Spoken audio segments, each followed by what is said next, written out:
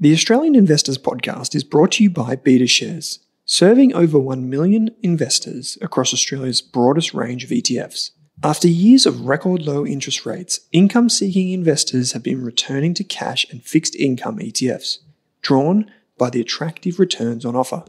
Equity income funds have also been generating healthy income streams. BetaShares provides yield hungry investors with a range of income focused funds to choose from, including ETFs offering exposure to cash, bonds, hybrids, Australian shares, and international shares. To explore the BetaShares ETF range, visit betashares.com.au and consider if the fund is right for you. I'm also proud to say that this episode of the Australian Investors Podcast is brought to you by The Intelligent Investor, Australia's premier investment research membership service. You can get a free trial for 15 days, no credit card details required.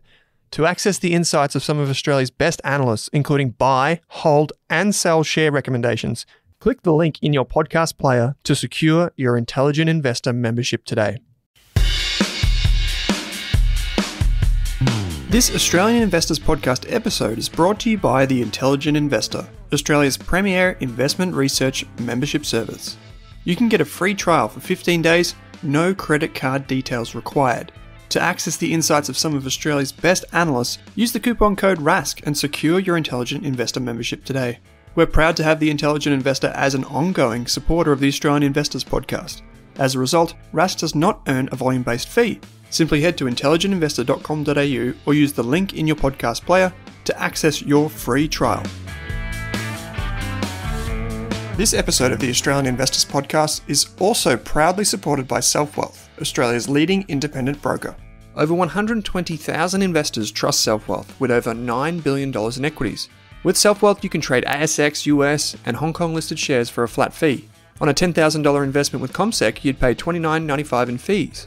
Yet with SelfWealth, it's just $9.50. The thing I like about SelfWealth is the full access to fundamental company data and how easy it is to trade US, Hong Kong, and Aussie shares in one place. You can see your Apple shares and ACDC ETF right beside each other. To join SelfWealth now, use the link in your podcast player or head to selfwealth.com.au and use the coupon code RASK during sign up. Hey there, here's a quick note. This podcast contains general financial advice only. That means it's not specific to you, your needs, goals, or objectives, so don't act on the information until you've spoken with your financial advisor. You'll find our full disclosure, disclaimer, and link to our financial services guide in the show notes. Pat, welcome to the Australian Investors Podcast. Great to be here. Thanks for having me, Owen. Yeah, we're recording remotely. We're both in Melbourne, but we're recording remotely today. We've got a lot to talk about. Uh, we'll talk about robo advice, about portfolio construction, automation, and all of those fun things. But I'm hoping maybe we can start off with a bit of quick fire, mate. And I've got two questions for you. The first is what's more underrated with a 10 year view? So we're talking long term, the technology or resources sector? Uh, interesting time for that question. Uh, here in late late July. Um, I would probably answer that as slightly different in that I think I would say the mo- the more appreciated sector from Australian investors seems to be technology. In that, as I look at what Sharesight and SelfWealth and others are reporting about investor behavior and, and, and trades and what people are holding, I'm actually pleased to see that um, fairly standard but but good large global uh, share ETFs are towards the top of the list, and by definition, they would be highly weighted towards technology. So I think people are using and continue to use uh, the big international ETFs as a way to get exposure to um, a diversified uh, gr- group of companies heavily weighted to technology. Um, so I would probably say um, resources might be more underappreciated. But as I say that, there is a lot of money being invested in resources entities because we're in the midst of an energy crisis. And so I also see that, you know, BHP, Rio, and others um, that are uh, suppliers in renewable energy and uh, inputs and whatnot have, have, have got a lot of attention recently. But I think as far as long term, there's more appreciation for technology. Um, amongst mm. Australian investors at the moment? Yeah, it's a tough question, uh, and purposefully, you know, ten year view uh, we Aussies, we love our resources sector because it tends to, even though they are cyclical, we tend to get fully franked dividends. And the technology sector, although, you know, by and large, Australia isn't that large when it comes to the technology sector, uh, we do like our technology companies and we are prepared to look abroad for that. So, and by the way, that wasn't a forecast. I wasn't trying to angle for a forecast from you. I, I wouldn't have uh, expected you to do so. But the second question from for me, mate, is uh, more of a personal one, quite an easy one. What's the best beach that you've ever surfed? I have to go. I'd have to go Bells Beach. Um, and to be clear, I, I, to be clear, I could never surf Bells if it was pumping. um, but I did surf it once when it was um, when the locals probably thought it was too small, and um, I was able to get a wave there. And it's just it's so iconic and so beautiful. Um, that memory will never leave my mind. Bells Beach here in Victoria, down uh, near Torquay. It's a fantastic spot. Uh, it's it's definitely a place where you would go if you're you're a keen surfer. Maybe not so much if you're a a beach goer or you have toddlers or something like that. Uh, there are plenty of other beaches nearby. Jan Juc comes to mind. Um, mate, that's great. I, uh, I, I like to start these uh, interviews by going back in time a bit and trying to understand the person that has created an investment strategy or investment company like yourself and just understand a bit more about how you got to where you are today. So, uh, what what was a young Pat like? Did you want to get into investing? Did you have mentors in business or finance? How did that? How did this come to be? I think the underpinnings of an interest in investing uh, and the mechanics of that existed with me at a young age, but didn't manifest till a little bit later. In that, I, in that, I went to uni and studied engineering uh, and commerce, um, but as a young kid, I was really interested in puzzles. I, am much more of an analytic, mathematical mind than um, I guess you might call the liberal liberal arts in the states. So I enjoyed building things. I enjoyed trying to figure out how different pieces of um, activities fit together, and just that's just the way my mind always worked as a kid, which is which is in part probably what led me into in, into the engineering degree. Um, investing was something I knew of and was from, was familiar with, but I didn't I, I didn't have an, a, a, super keen early interest in it because I didn't have money to invest. Um, and so then I go off uh, to uni, and then I get to New York, and um, I was actually in the operations area of New York for a little while, and um, uh, it wasn't until a little later in my time there that I actually had some savings to invest, and I'll touch on that in a minute. But I think it was mainly just um, the, the, analytic aspect of investing, and then as far as the business, it was really the interest in, in creating and building things. Mm. So, out of out of school, did, did you out of uni, did you go and work as an engineer at all, or did you did you move straight into the like the operation side of finance and investing? Yeah, I went. I went. Um, so I one of the things I learned in engineering school at the University of Virginia was that I probably didn't want to be an engineer, but I was quite grateful for the skills that I learned. Um, I, I, my major was something called systems engineering, which is probably most closely aligned with what management consultants do in terms of, again, that sort of the analytic rigor of breaking complex things down into the simple components, figuring out how they all interrelate, and then being able to manage that better or optimally and uh, but I didn't want to necessarily be an engineer. So I had a, co- a minor in commerce, and um, and sort of a comedic story. I um, which I won't elaborate on. I, I, did end up managing to get a job at J.P. Morgan in New York, uh, in the inside the the management consulting, effectively the management consulting. Um, arm, which was kind of sat next to the f- corporate finance and M and A and whatnot. It wasn't an easy role to get, but I had the right background for it. I didn't necessarily have the right background school wise uh, to get what was at the time, this is 1989, uh, probably the hardest job to get as a college grad in America, which was a finance internship at JP Morgan on Wall Street. So I didn't need, I didn't try. I, I got a foot in the other door. Um, and then managed to sort of meander my way across. But um, no, I went straight into 2000 and, um, 1990 into, uh, up to New York and was there for 10 years at JP Morgan. So you're in this like business consulting arm. Is this what later morphed into uh, private equity? Well, that was the end point. So I'll give you a sort of a condensed version of the journey from internal management consulting to private equity. Um, after a couple of years in the internal sort of consulting aspect of the business, I, I, at that point, I did, I was immersed in the financial world, but I wasn't working on the front line of the financial um, stream of activities for JP Morgan, whether it was investment banking or investing investment management. And so uh, I pestered the person who had to go out on a limb, uh, who was managing basically the um, the junior analysts, and I pestered the person who was responsible for saying, "Okay, Pat can go from the operating environment into the finance environment." Uh, it took about a year. I think I, I, I annoyed the I annoyed the heck out of him for a year because um, I, I just think he thought I I didn't know what I'd be getting myself into and it was just sort of something that I thought might be kind of glamorous when in fact I, I had a really keen interest for it. So eventually he relented and uh, threw me into debt capital markets as an analyst, which was a new stream of business for JP Morgan. This is in early in the early 90s. And it would be fair to say that that was a stressful, hard environment to work in, in terms of um, the group getting it, that group getting new business for JP Morgan. And I was doing the grunt work uh, the very grunt work. And I survived a year. And uh, so the guy said, okay, we'll, we'll try you in investment banking. And if you survive there, we'll put you through some more f- formal training.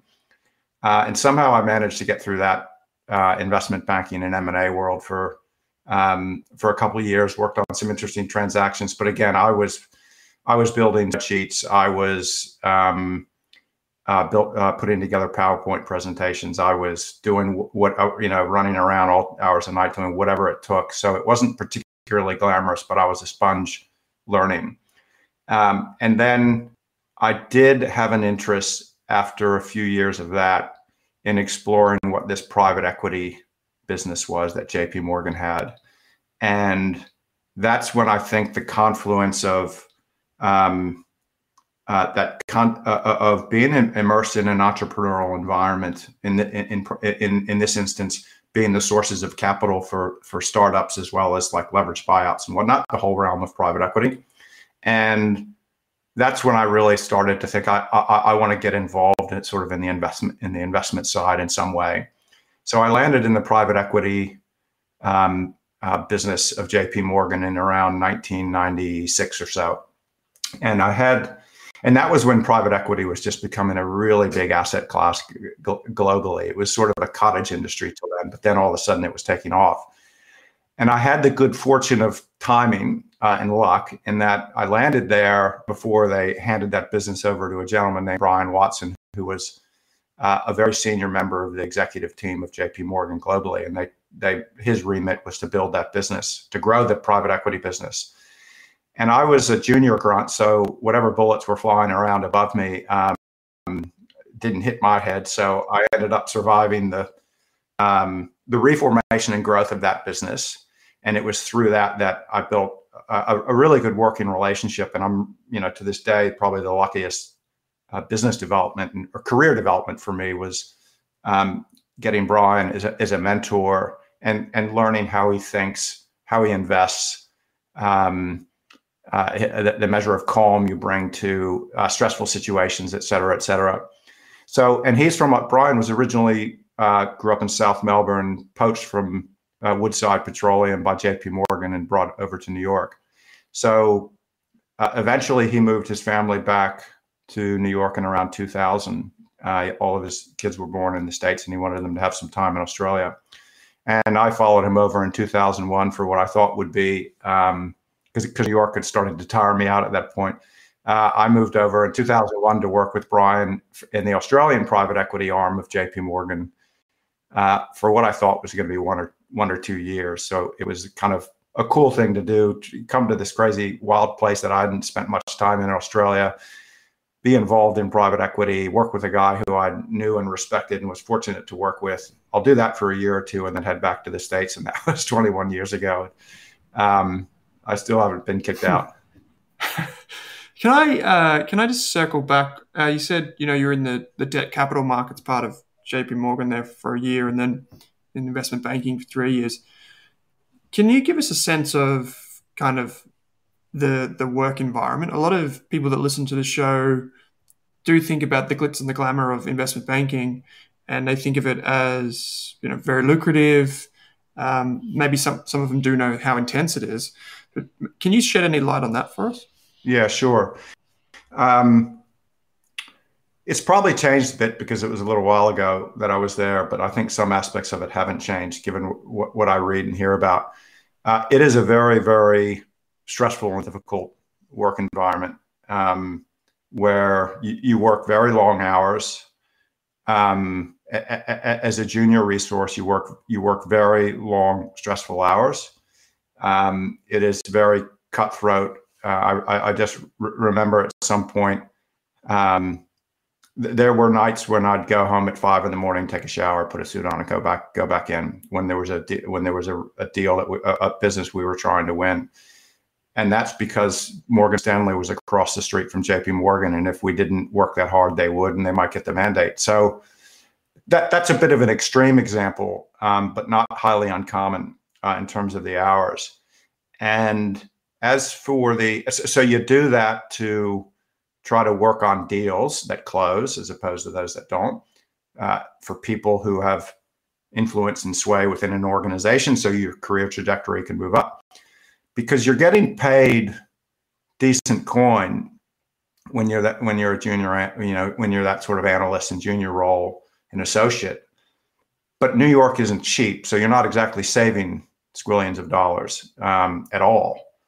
So the aspiration, if you've got the temperament, the desire, the adrenaline, and everything else, is you know to get to this you know more senior levels where the, the compensation becomes you know more significant, which it which which it is. I always had a bit of a mental uh, probably debate with myself. I've got a brother who's uh, a teacher of 35 years, and the disparity between what you know teachers are teachers who are having what I would argue is a pretty big impact on society, um, what they get paid versus what people who eventually get to the top echelons of Wall Street get paid. But that's for another discussion.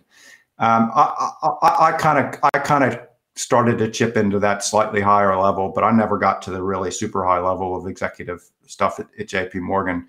I was mainly in the um, learn and get whatever experience I could get because I sort of back backdoored my way into finance. But um, I'll just mention real quickly, it was about 1997, uh, about seven years through my time there, that my father passed away. That was the time that I probably got a paycheck where I had a, few bucks outside of what, what we would call super here um, to invest. And that was when I really because um, in private equity you're investing JP Morgan's balance sheet uh, or a, you know a, a, fund that JP Morgan's raised, and your job is to do that well. But it's not you know it's not your personal money, um, and and not your mom's uh, livelihood. So when my dad passed away, I had to take his investments, which were eight or ten kind of blue chip um, American company, General Motors, uh, uh Marriott hotels, and whatnot, and I had to reconfigure dad's portfolio into something that would be more suitable for my mom. And that was a bit of an eye opener for me because I hadn't I hadn't really had to do that before. And I can unpack that a little bit in terms of the that, that was my first experience of putting together a very well diversified portfolio using index funds, thinking about a time horizon and a risk profile. Um, because and, and it took a little while and it was really hard. It was much harder than somebody who had the experience that I had um, it was harder than I thought it would be and should be. And it was stressful because this was, you know, a parent, you know, a parent's livelihood who had to pay bills and what's the right mix of income versus growth and how, how long the horizon are we talking about? Um, so there needs to be a measure of growth. But if, you know, if there's a five year bear market, then I'm, I'm not going to sleep at night and think I screwed up my mom's f- financial set, setup. So, I did spend a lot of time at that point thinking about portfolio construction, portfolio management. Index funds at that point were really becoming big in the States. This is, again, 1997, so 20, 25 years ago. Um, and it was a really quick jump into the deep end of uh, hands on asset uh, investment management and both personally as well as you know family. So anyway, that was that was probably the one of the most salient, um, impactful 12 months or so of, of, of, of, my life. So that was 97, and there was a lot of market volatility in the aftermath of that. And um, probably it, it, was the, the initial underpinnings of what eventually became um, Six Park in, in, in, terms of the robo advice service, thinking about where there should be a better solution. I, if I if, if I found it hard, I thought to myself, then people who don't know what an index fund or how shares work, how the heck are they going to get help? Um, mm. And that was, you know, that was one of the motiv- motivating factors behind setting up the business. Pat, um, people would probably hear that and think if you're working for JP Morgan and you're working on Wall Street, you know, investment banker, surely that would be so easy and so simple um, for you to design a portfolio for your family. Like that's probably what the outsider's view is. And I'm more curious, maybe not so much with that one, but more so with if you are in the cockpit of Wall Street, you've got you know experts around you, you are an expert yourself how did you make the decision to go with index funds? Um, I was I was immersed in Wall Street, but I wasn't immersed in picking one stock over the other, um, and I wasn't immersed in active active investment management. When you make a private equity investment, you're making it for seven to ten years. So and and and we built a portfolio of private equity investments across different um, geographies, industries, and whatnot. So so I did have a good appreciation for diversification, for company analysis and and and people analysis because in private equity usually the success is typically defined by people as opposed to market opportunity. Usually the idea is okay, it's whether the people can do it or not. So um, to your question, Owen, I think um, I wasn't a professional money manager, even though I was in Wall Street. Um, professional money managers on Wall Street make up a, a, a I don't want to say a sliver, um, there's a lot of activities that happen on Wall Street in addition to active fund management.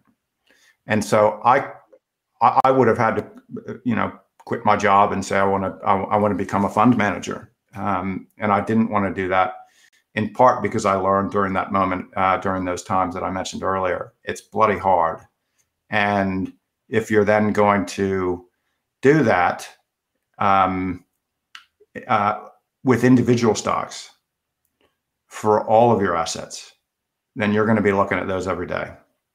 You're going to wake up and you're going to read the paper. And if you see a name of one of your companies, you, you know, you're either going to pat yourself on the back or shit yourself. That's a daily experience I didn't want to go through.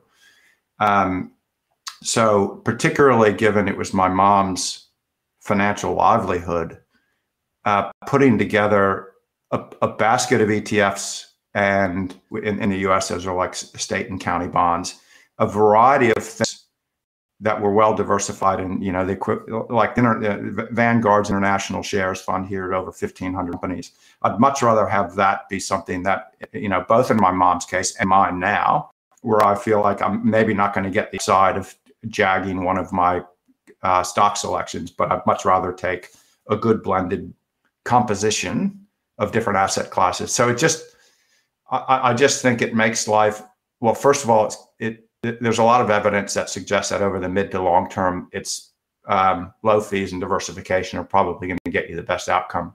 Sort of along the lines of Owen, what you articulate as your core your core strategy, and I and I really liked reading about your investment philosophy, and and so uh, mainly long long winded way of saying I I didn't want to take on the stress, time, and and um, behavior, behavioral challenges that that active stock pick to, for the core for the core aspect of, of, of my and my mom's assets.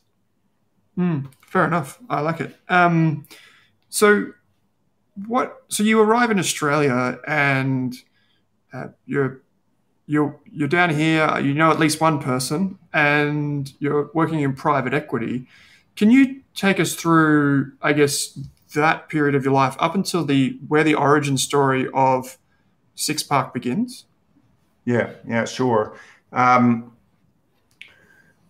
one of the things uh, as I my time in Australia started to expand, one of the things I talked with Brian about um, for a number of years actually was the prospect of he and I uh, start, starting up our own business. Because Brian, at this point, he was on the, uh, the, the original board of guardians for the Future Fund, so doing effectively asset allocation with the country's sovereign wealth fund. Um, and he's a little bit older than I am, so he was he was he was not really in an operating environment. He, he wasn't in an operate company mode, but very much in a sort of a mentor, chairman, um, advisor mode. So he and I had talked about the idea of of of, of creating our own business because um, we'd been sort of funding or advising others' businesses for for, for ages. What when where I would be fundamentally the the operator of the business, and Brian would be in a, in a more of like a chairman capacity what we needed, Owen, is we needed the idea. Um, we needed the business idea and the, the, business opportunity. So at this Six Park and Robo wasn't in the brain. Yep. This is, you know, 2010 to 2014. Every time I went to the States to visit family, I would always go over and think, what I want to, I want to identify a trend in the States that's going to be a big trend in Australia in five years because um, there's the idea that Brian and I can, you know, capitalize and have a have a crack at. And if it if it if it goes well, great. If not, I, I can say we tried. We can say we tried. Um, so there was a period of time where where, where I, I, I struggled, and you know, notepads on planes and whatnot, long plane flights. Um, but there was um, there was a moment in 2014 when the ETF market in Australia was starting to really um, become more significant and and relevant. And Brian and I, both on a personal and professional level, could could see the major problem in Australia, more acute than overseas, of it being too hard, too confusing, too expensive. Um, if people could even get um, a, a quote, so to speak, to get to get investment help um, to get advice, uh, not just a menu of choices, um, but actual tell us a little bit about yourself and answer some important, you know, salient questions. And we're not going to solve all your financial problems. We're not going to give you a holistic statement of advice about what to do with this and insurance and super and estate planning. But if if you just, you know, we do one thing, we do one thing really, really well, um, in my view. We've got a good group of people um, to help construct a portfolio uh, if somebody has some money to invest. And we thought that the, the ETFs are now there to construct portfolios in Australia on the ASX. Um, I learned very quickly what an API was in terms of um, the technology required to deliver um, a risk assessment and uh, trades and portfolio construction. And if we build it, rebalancing, um, automated automated rebalancing, automated onboarding, portals so clients can see their holdings, so on and so forth. Um, that was the idea. Can we, if we built something like that, that would be high utility in Australia if if if if people like it and want it and use it. And we could see it happening overseas. Um, and Australia is, you know, on the financial services front, is typically a little bit behind what you know accelerates overseas and, and, and in parts of Europe. So anyway, so we thought, given given the asset allocation expertise, uh, which is an important one, um, that Brian and at the time, who he had envisioned pulling together as an investment committee, and me kind of going out and saying, can, can we build a tech platform that will, um, an application and service that will do all this stuff in a in a you know at least mostly automated way? Because otherwise you can't charge a low fee because you've got too many costs all over the place uh, and you want to scale it up so you need you need automation um, so we did like a you know a year's worth of proving this thing out um, and putting together the different pieces for trading and reporting and and rebalancing and a, a, a lot of spreadsheets that I still have on uh, asset allocation and rebalancing built a mean variance optimizer to work uh, the investment committee would use uh, if, if we got to the point of building and launching, and which we did, uh, obviously. Which so this is about 2014 to 2016. So we got the idea, we got very excited and passionate about it because we could see the need, and we thought this is this is exactly what we should be doing, right? Given the background, given our background, and importantly, both Brian and I shared an investment philosophy about um, low fees and diversification being the two, two, most important decisions an investor can make. Um, there's a lot of factors, obviously, but those two really resonated with us. And so, if we can automate a way that um, people can access that at, at, an accessible and affordable price point, that, that really got us fired up. So we built it and we launched it in 2016, and um, uh, th- thrilled with how it's going. Awareness and adoption of ETFs and, and digital services is, it has been increasing sort of every you know each year. It's kind of following the trajectory of what's happened overseas, where people have um, investors, and it's not just people on. Um, and you probably know this, but it's not just people who are starting their investment journey. Obviously, that is a very very important segment of the market because those people need help and they're typically young. So if they're if they're making either poor or uninformed because there aren't any ways for them to learn, a few bucks law opportunity cost today is a is a lot of money in 25 years. So that's an important segment. But we also have there's also people, and we have them as clients that have millions of dollars, and all they want is a simple port simple but effective portfolio that they understand that they have line of sight on. They can see what the asset classes are. They can see how the diversification works. They can see through up, up and down market cycles the power of that diversification and, and reinvesting dividends, et cetera, et cetera. So it is sort of a mass market solution, but it um, it, it can cater to a lot of different people uh, depending on what they need. So anyway, that's sort of how we went from, gee, we should start up a business someday to the idea to then building it and and then getting Lindsay Tanner and Mark Nicholson on the investment committee. Because the the last point I'll make on that, Owen, is one of the things that we wanted to to make be special about our business was it's not easy, but you can automate all the stuff that I mentioned, the risk assessment into onboarding, creating account portals, this and that. It's easier said than done, but it's, you know, obviously it's doable. But ultimately people give us their money to invest and generate a return. So you do need a measure of expertise in figuring out what asset allocations and which ETFs to choose. And I, I, built a few formulas and algorithms for things, but I, and a mean variance optimizer, which is for those who may not be aware, is sort of a highly analytical tool where you can put in different types of investments, expected risk and return, and and say what your goal is as far as um, volatility or returns, and it will kind of give you a suggested asset allocation across uh, based on what I, you know, domestic shares, international shares, property, um, et cetera, et cetera. That is just a tool. That should inform a decision, but not be the decision, because by definition, every mean variance optimizer is going to be a little bit subject to the assumptions you make and sensitive to them. So what you really want is a group of individuals that take that and then say, okay, let, let's uh, let's apply our real world experience and see if you know see if we want to tweak some you know some things around the edges because this thing is a tool, but it's not perfection.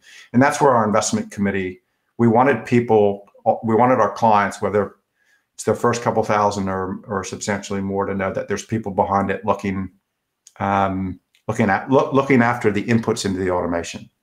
As as Lindsay said in one of our first investment committee meetings, um, which I'll never forget, he said you can't build an algorithm for Trump.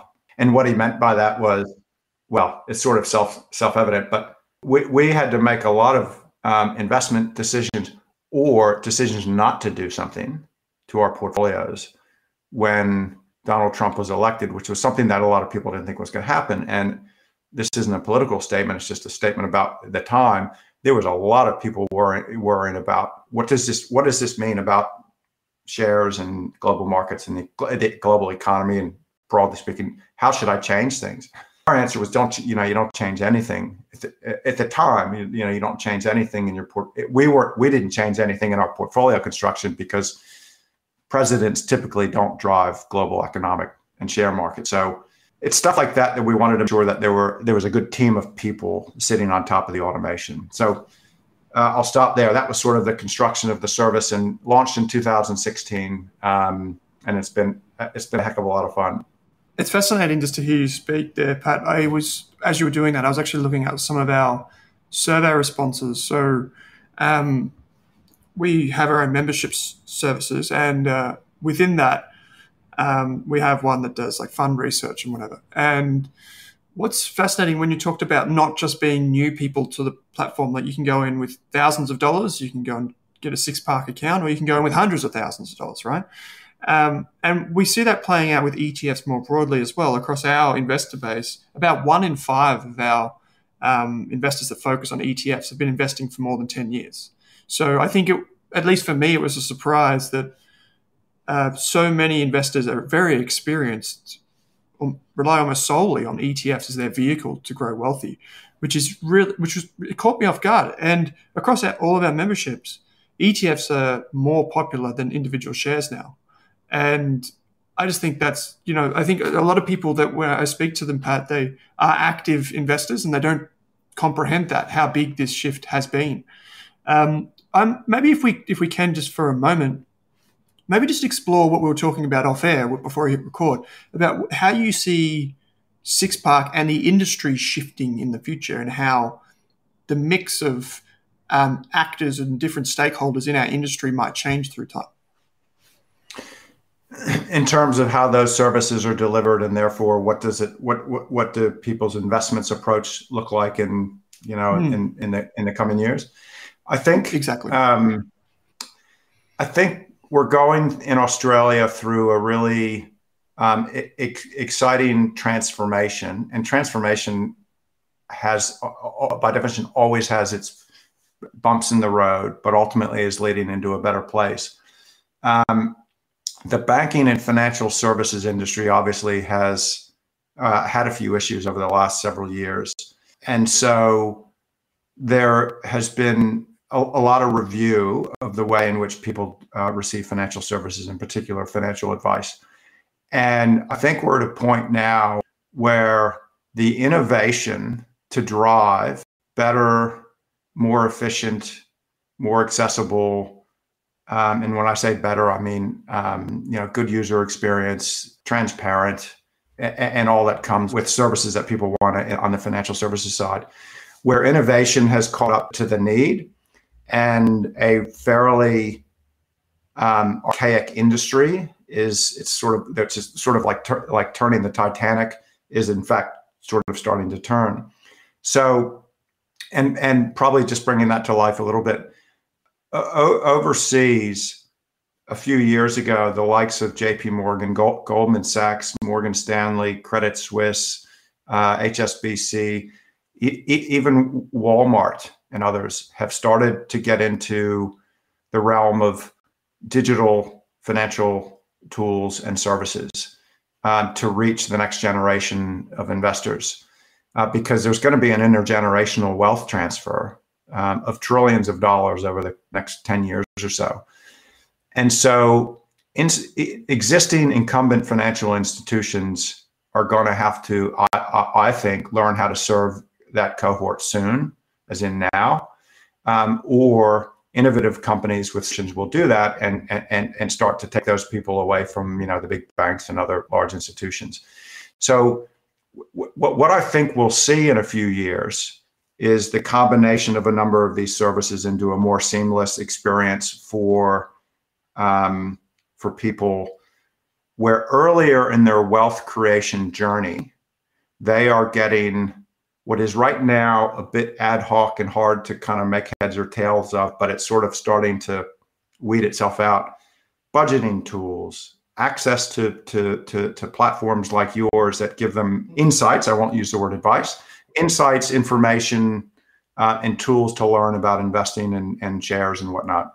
Uh, services to help construct and build portfolios. Um, obviously, we've seen the advent of low cost trading platforms now in Australia, which um, has been an incredibly rapid development in the, in, in the, grand scheme of things over the last three or four years from $15 being wildly low given given um, the track record in the industry to you know free in some instances now that's both a good that's a good thing. It's also kind of a dangerous thing um, because people can be reckless if things are free.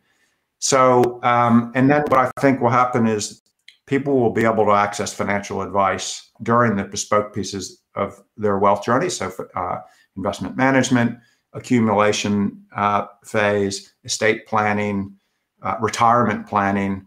Um, it won't just be that there's one point in time when you have a whole bunch of money that you got, you finally are able to go get help on that front. There'll be a continuum of this, and right now it's pretty disparate all over the place. And so it's kind of hard for people to figure out because we all have jobs and stresses in our lives. And um, not, you know, not everyone can immerse themselves in, in, in, in, in their wealth management um, activities. So what, what, what I see is the transformations starting.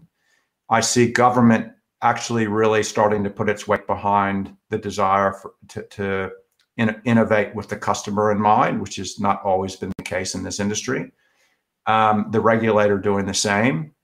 Um, and we're seeing a few of the big banks um, start to talk, I think, a more a bit more genuinely about adopting technology to get help for people that need it. Um, and I would expect you'll see non-financial services uh, entities providing wealth tools uh, to their consumer base. I guess the finance, uh, financial wellness, as you put it, uh, becoming more of, I guess, ubiquitous yeah. throughout the ecosystem. So whether you go to a an airline's you know loyalty program and get access to a wealth platform that way, or whether you go onto Woolies or Coles website and you, yeah. you access it that way, yeah, um, that's I think it's a fascinating thing, and I think that as we finance as we know it today is not going to be what we know it as in ten years. There'll be obviously remnants of it, but the more cutting edge will be totally different, and I'm really excited for that. Yeah. Um, if I could quickly loop back through your investment philosophy and process, Pat. Um, one of the things that when I've spoken to other people in the industry about SixPark, one of the things that often is brought up is that um, you've never invested in gold, at least as far as I know. So I'm wondering when you do your your, your mean optimization, uh, mean variance optimization, and you, you look through your asset allocation, why that never factored in yeah, to yeah. the asset allocation? Um, it's it's a good question. Um, so we we assess that when we launched, and we continue to assess it because, like we would a- any other asset class, as we do with any with other asset classes. The, the relatively short answer, Owen, is when we construct our constructed and continue to manage our portfolios, we prefer growth and defensive asset classes that we feel like we've got a certain level of understanding about the risk reward profile. And on the defensive side of asset classes, we really want income. Um, so let me preface all this. We don't think gold is a bad investment for a portfolio. It's just we prefer to do things, um, we prefer to use other components instead of gold. So to be clear, it's not like uh, we don't think it's a good asset class per se. It's just we have a preference otherwise. So we have a preference uh, for defensive asset classes to generate income, which gold does not.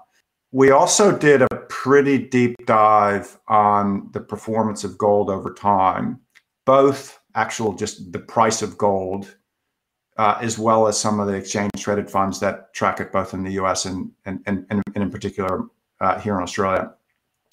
And what we found is that it's got more volatility than some people might think. That the case that it's a hedge against inflation works sometimes, but sometimes doesn't, depending on the backdrop. When we put sort of all of that together, what we prefer is to, if you know, let's say we were going to have a, a 10% allocation to gold, we'd rather take a portion of that 10 into a growth asset that we know and understand and another and you know the remaining into a defensive asset that we know and understand both of which are generating income um, and both of which are relatively well understood from our perspective. Um, so that's where we that's where we landed, and we continue to sort of reflect on that. Um, and like I said, with with any asset class that we feel becomes prudent for adding to our portfolios, because we've done this over time. We added infrastructure uh, at one point, global infrastructure listed.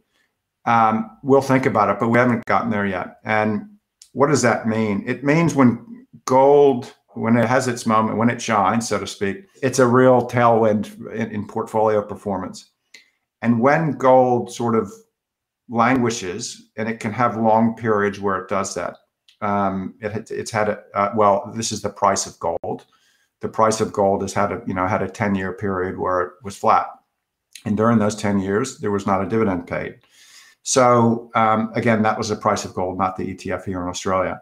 We are long term portfolio managers, and so what we determined was on balance, gold's a drag on performance over time it, it works really well for Windows, and then it less well for other longer, slightly longer windows. That was our that was our conclusion. Um, so it's obviously it's been it's done well recently, and you know it, we would expect it to. I found I've found it interest, interesting that um, it's performed well the last couple years, and then it, some of the times when the inflation fears were at their most acute, it it retreated, and I just could never. You know, there's some aspects to its performance that I don't I don't fully understand, which is part of the reason we sort of decided to go another way.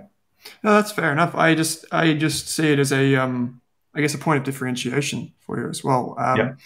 And and gold tends to be a quite a polarizing thing for that very reason. For a long time, I've I've thought very similar to you, in that um, I did, probably don't need gold in a portfolio um, as a long term investor. I probably don't need it to construct a portfolio, um, but I acknowledge at certain times it has worked, and over time the price of gold has gone up.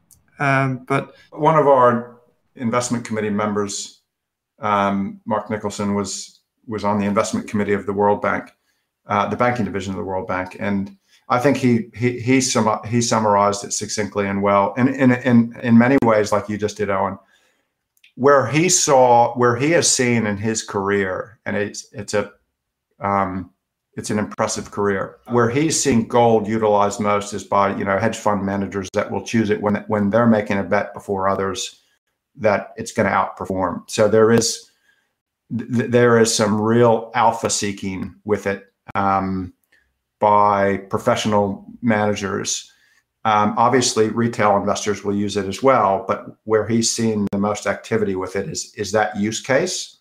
Um, otherwise, it's a little bit more of an insurance kind of insurance play. The insurance part being the drag that I talked about. So neither one of those kind of fit into how we manage portfolios. Um, anyway, I just thought I would add because Mark always has in, interesting insights on these things. Yeah, no, I like it, um, and I do see it personally, whether it's on the advisor side or on the um, active management side, whether it's private investors or professionals, I do see it as more a tactical shift, um, whether that's for alpha or whether it's to hedge against something and then therefore alpha. Um, that's where I see it being used. Uh, I've got a more product centric question for you, Pat, which is just that if I could ask you to pick one of these that have been most powerful uh, had the most powerful impact on your clients, and I'm being I'm giving you a false choice here. Uh, I've got automation, investment philosophy, or I guess security selection slash investment process, depending on how you want to think about that. So we've got automation, your investment philosophy, or your security selection. Which one do you think has had the most powerful impact on your clients? I think the most powerful impact would be the investment philosophy because ultimately people are giving us, uh, trusting us with money to invest for them. So um, we've we benchmark ourselves a variety of ways. The, probably the most meaningful way that we're able to is by looking at a database of managed funds, multi-asset class managed funds, and we can see growth defensive split. So we can line us up against ours and say how how are we doing against comps? And we've regularly outperformed sort of 80, if not 90% of those on a, on a on a regular basis since since we went into the market sort of six years ago, and so that I'm, I'm, I'm very proud of that. I think it's a combination of low low fees and that investment oversight to make you know good decisions at the right time or, or decisions not to do anything if that's the case. So I think that the and I hope it's appreciated. But um, when markets are down, I, you, you, don't know what, whether people realize what uh, think they're getting good good investment uh, guidance or not. But um, I think we've delivered strong returns, and that's probably the most important thing we're supposed to be doing for people. So that would be the thing that comes to my mind. I think as far as if we if we were to ask our clients, they the, the automation is probably part of it because I spend a, I try to spend a lot of time talking with clients because it helps inform product development and and feature enhancements and whatnot. And the thing that I hear probably more than anything is um, the concept that it's it's like set and forget, but with an adult overlay, keeping an eye on things to tweak when necessary. And and in that mind, there's both the technology automation, but also the I, have I've given it to you guys to just let it let it do its thing. I can retake. This is a client speaking. can retake the assessment if I think my risk profile might have changed, or if I just got fired, so my time horizon for this money is now two years instead of 22 years. So I, I need to retake the assessment and this and that. I think that automating and and and and building transparency and how that works has probably peace peace of mind. Um, has probably mm. been the, the bit of feedback I've gotten most from people. It's actually interesting because this is, segues perfectly into my next question, which was about behavioral biases. And um, you may know that Teddy Richards, former employee of yours, uh, was on the show, or was actually on our Australian finance podcast, or our other channel, but he talked about behavioral biases. And um, uh, just maybe, you know, as more people adopt um, robo advice or more people adopt ETFs and passive investing in general, what do you what do you see as being, I guess, some of the more powerful psychological biases that people should be aware of? It's a really good question and one that I would encourage anyone listening. Um, I know you have a uh, you have a range of very sophisticated audience and probably people who are fairly new. I would say for anyone, it's always good to revisit what behavioral traps there are for investors because because no, no one is immune to those um, whether ex- experienced or not. And I say that from personal experience. So, um, but I think today, as we sit talking today, Owen, um, three that come to mind. Um, one would be, and, and I don't know how this would be sort of technically framed in, in an academic behavioral finance book, but it's uh, ha- has to do with patience and mm. uh, managing emotions. And the way I see that is is uh, people make plan when, when things are reasonably sort of stable and markets are kind of grinding their way up and and and, and there aren't any like huge traumas in in, in the world uh, people set plans for themselves from a finance and investing perspective. And they'll sit and spend a lot of time and answer questions of themselves and and their goals and their time horizons and whatnot. They put together a plan and implement it. And then the, the doo doo hits the fan, you know, and something hmm. wacky happens. Uh, and all of a sudden that plan is just gone. And it, it, might be right that there should be some adjustments to the plan, but it shouldn't just go out the window. And a lot of, so a lot of people I think need to really um, check those emotions and, and, and remember that um, trading is a short-term game, but investing is a long-term game. And investing rewards the patient. So th- that would probably be uh, one of them. Another one that's sort of a, you know, an obvious, well, not an obvious, it's always an obvious one. The, the, the concept of the her- follow the crowd, the herd mentality. Um, mm. They, they, they're, you know, talk a lot about GameStop and all these other things and, and, and, and, um, where there have been fads or trends. One thing I did learn time in New York and Wall Street and, and, and, and just anecdotally from people, more times than not, when there's a major trend or hot space or, or whatever you want to call it, professional money's already gone there and prices already reflect to some extent the run up in, in, in that, whatever that might be. So either one of two things going to happen. Most, most, you know, a lot of investors will be getting in a bit late, and therefore the upside isn't as great as they may think. Or the fad or the trend is exactly that a fad or a trend. And just because a whole bunch of people are throwing money in it doesn't mean it could just fall, you know, the thesis could fall over the next day. So do do your homework. Um, does the does the uh, if you're if you're doing something that there is in fact a, a herd charging at, uh, have a really really thoughtful consideration as to um, if you strip out the herd, do the fundamentals still hold? Um, and if the herd shifts and goes in another direction, are you going to follow them, or do you are, are, are you are, are you comfortable with your decision because if you're not, that says something. So that would that would be a second. Um, a third would just be generally speaking overconfidence, which is you know frequently thrown into the behavior, behavioral finance mix. Um, you won't be surprised to hear me say, "Oh, and I think investing is really hard." Uh, given my comments earlier when uh, on my own hmm. experience, Pick, picking stocks 15, 20 years ago, um, there was ability to get an information edge. So professional fund managers, active managers, and, re- and retail investors uh, could eventually avail themselves of information that, if they worked hard enough, could could inform a decision that other people might not get to. Information's everywhere now. In fact, there's almost too much information around. So um, it's really challenging to find an edge. It can be done if you've got the time, temperament, interest. It can be done. Um, I really like the way you frame in your investment philosophy, like the, the core kind of passive piece, the um, uh, like the the Rask ring, maybe if I don't know if that's what you call it, but sort of kind of how you try to mm. really thoughtfully and analytically um, make you know very measured assessments of of of, of some um, investments to make, and then outside of that is a bit of the you having a bit of a flyer. Um, and I think there's a home for all of those, uh, very much a home for all of those, including that last one. And to me, that's when I get the calls all the time. Does SixPark have crypto in its port? Now we don't have cryptos in our portfolios. Um, if you want to do if you want to do crypto, go for your life. But I wouldn't put all your assets into crypto. And if you want sort of a core, um, this might make you sleep, sleep a little bit better because crypto can be kind of volatile. So um, coming back to my third point, overconfidence.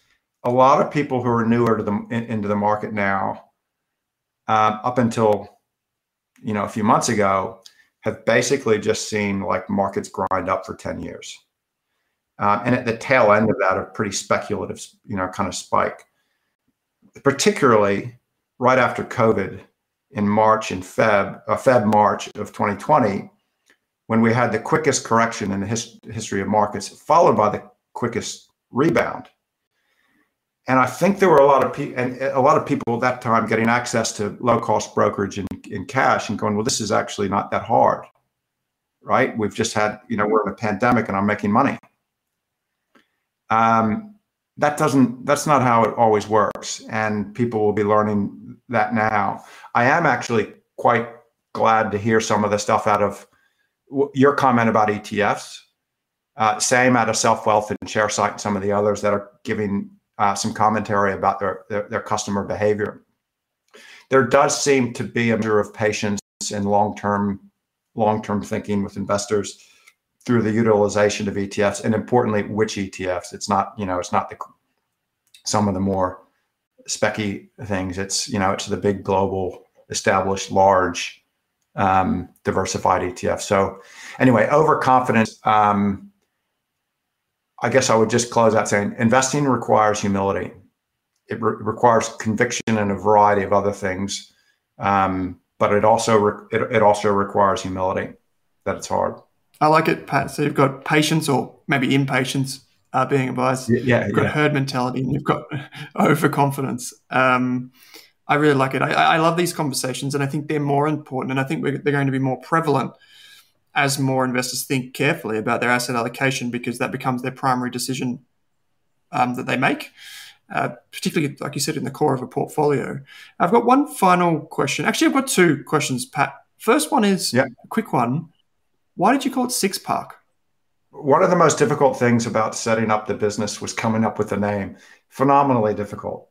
Um, we, we we had all sorts of ideas. They were either taken or they, they you know, uh, there wasn't unanimity about um, whether we liked them or not. You know, all these, you know, rocket ship, this, that, that all these names you typically hear of these uh, types of businesses. There was a name um, that was personal to me in that uh, that that just kind of made the cut until the end, and we stuck with it. SixPark is the address of, of our of a family beach house in the little state of Delaware on the East Coast that my grandparents bought. And it's a 80 year old, uh, fairly large, but not modern beach house that my grandparents got when my uh, grandfather retired from, from the army. And uh, they said all, all family is coming to us now. We're not going to go traveling around the world seeing family come to us. So we had the good fortune as grandkids of spending our summers uh, at this big old beach house with all the aunts and uncles and grandparents and whatnot. It was um, it was sort of paradise for us. And one of the things about it was that it was a place that I personally felt quite safe um, because there were adults sort of always kind of running around just making sure things um, didn't get out of hand. Uh, so I felt kind of safe and secure there. The house weathered a, a, a, lot of massive easters, which are big storms on the east coast of the U.S. And for for me personally, it just sort of resonated with exactly what I wanted the business to do, which was let people know that it's got a sturdy foundation, that there's adults looking after things, uh, that you can enjoy life and not worry about you know the stuff you don't need to worry about. So that um, that's where we ended up landing, um, and that's the background of that mm. one. I like it. I like it. Um, okay, final question, Pat. Yeah. Is if you could go back and tell younger you one thing about money, finance, or investing, what would it be? I'll keep this one simple. Start start earlier. Um, I mentioned earlier that when you live in New York, you can be on Wall Street, but if you're not in one of the sort of super high flying jobs, uh, after tax, you know, you're not saving a lot of money. If I if I were telling myself something, again, it's pretty basic, but I think it applies to to, to anyone. Um, the power of compounding interest. I won't elaborate on. I'm going to assume your audience knows that one. Um, if I it, it, I didn't have I didn't have a budget while I was starting my career in New York. I just was trying to do well on the job and have some fun at the same time. I probably would have had a, an earlier, more disciplined approach to taking a portion of each paycheck and just putting it into the S and P 500 or something like that.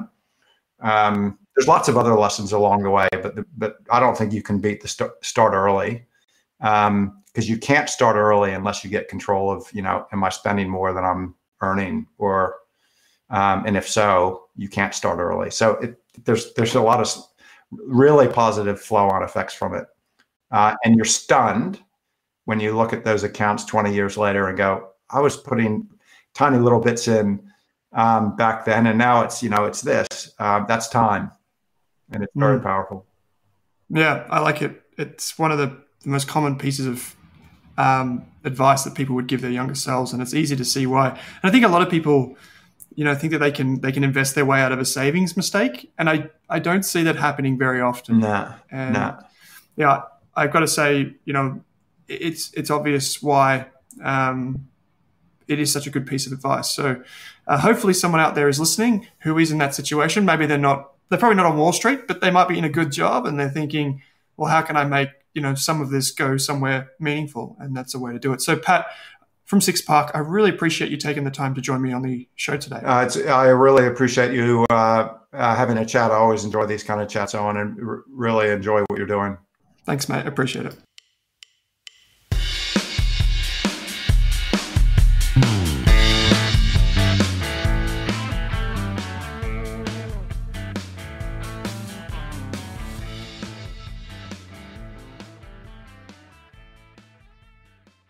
Thanks for listening to the Australian Investors Podcast, which is proudly supported by JP Morgan Asset Management.